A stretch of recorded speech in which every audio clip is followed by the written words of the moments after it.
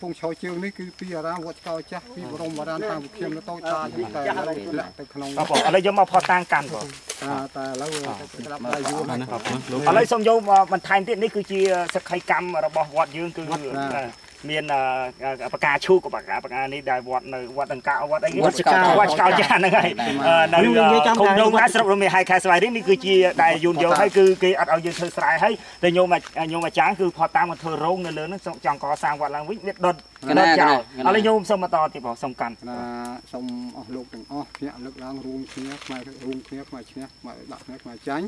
ដូច្នេះនេះជាសាកសីជាផោះតាំងរិទ្ធមានៅនេះដែលវាខោះចោលពីឆ្នាំ91 ឆ្នាំ91បាទបាទសូមអស់លោកជ្រាបខ្ញុំជឿចាប់បាទសូមអរគុណបងប្អូនអរគុណច្រើនបងតែយើងកាន់អានេះទុកជាផតតាំងញោមអាចារ្យទៅឥឡូវចេះចេះបើថាបាច់ជគុណបាននេះយកទៅបងប្អូនឥឡូវកាន់ដាក់ឡានបងដាក់មួយថតថតសិនហើយថតជាខ្លះ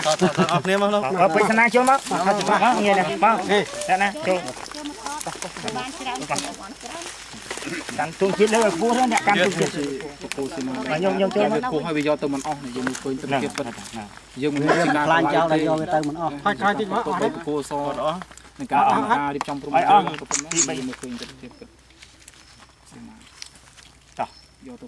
ពិតហ្នឹងតាមកាន់កាន់កាន់កាន់តាមនេះញោមញោមប្រុសណាកាន់នេះយកដាក់ឡានទៅបោះតា